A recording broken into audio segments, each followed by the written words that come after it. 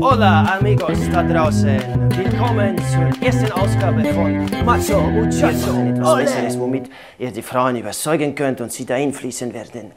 Wir machen den 12 Achteltakt. Und der geht es so.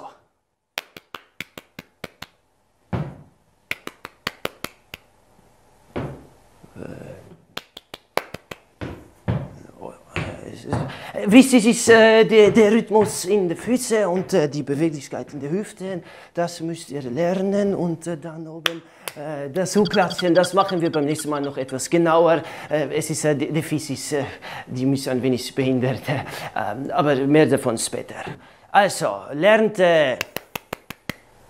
Das, genau, das war heute die erste Ausgabe von Macho Muchacho Ole.